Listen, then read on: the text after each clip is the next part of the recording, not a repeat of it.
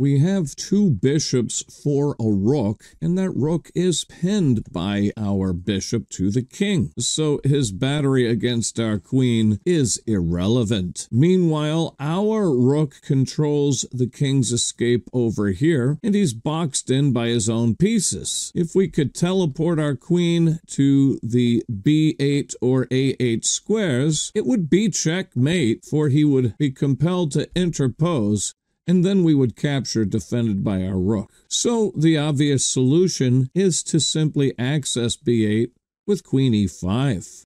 So he plays queen c8 defending. We're not going to grab that. Instead, we have something so much better. With this queen no longer on d7, we can give check from d6 with impunity. He must interpose. We go back to our original idea. Bada bing, bada boom. Oh yeah.